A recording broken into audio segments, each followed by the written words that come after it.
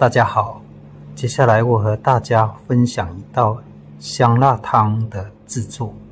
它的配料有豆干切丝、黄花菜干。黄花菜干用开水泡十五分钟以后，给它洗干净备用。这个是鸡松茸干，用开水泡十五分钟洗干净备用。啊，我们切点葱花，起锅时撒上去会更香。呃，我们这道汤里面用到了这个温热性食材有白胡椒粒、少许的花椒和辣椒，最主要以白胡椒的辛香为主。呃，我们会下少许的盐巴。接下来我们来制作这个香辣汤，我们把这个。白胡椒粒先拿起来，我们把这些料头下到水里面，给它过一下水。好的，我们过完水以后哈，然后这下子这些杂质啊、这些脏东西啊，呃，就会给它去除干净。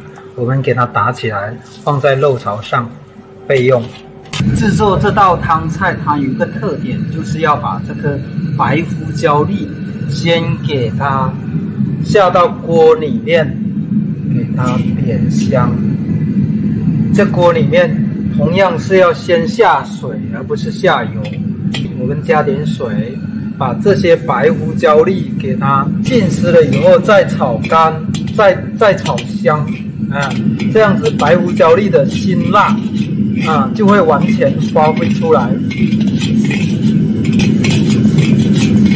在炒的过程当中，我们就能闻到白胡椒的那个辛香味很呛，这样子把这个白胡椒粒的那个腥味啊，全部给它炒出来以后，我们下点香油，下点什么油呢？我们下点这个姜香油吧，一点点就好了。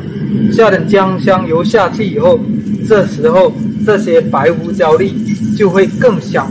这下子我们锅里面可以下水了，哎，煮汤就得下水了。好，然后我们把白胡椒的胡椒味充分的给它熬出来，锅开大一点点。呃，有人觉得说煮汤下油，那不是油腻腻的呢？其实没关系的，油比水还要轻。呃，在煮的过程当中，我们可以把油。上面的一层油给它捞掉，啊！但是整个过程我们还是一句话，我们要把这个白胡椒的这个辛辣味给它煮出来。因为今天我是一个人操作，呃，这里面的白胡椒粒正常是可以捞起来，啊，捞起来的时候吃起来比较不会卡，啊，当然了，有人介意的，有人不介意的，我是比较不介意的。所以我就把这白胡椒粒也一起下去了哈。好，这下子我们把这料头下下来。啊，这这下子非常浓香一股清香味就出来了。啊，整锅汤这还没煮完就感觉非常有食欲的那种感觉。啊，这下子我们加点盐巴，我们接下来勾点芡。这个汤啊。像酸辣汤一样，但我们不下酸辣，我们就直接叫香辣汤就好了。我们用淀粉，啊，地瓜淀啊，那个玉米淀粉啊，玉米淀粉给它勾点芡。好了，勾芡完了以后，我们就可以起锅了。我们给它打起来。好，我们在上面撒点葱花上去。呃，在制作汤肴的过程当中。如果有人有平时啊有吃那个鲜味素啊鸡精味精的习惯，啊可以少量下一点，啊尽量不下吧，因为这些东西也接触寒凉。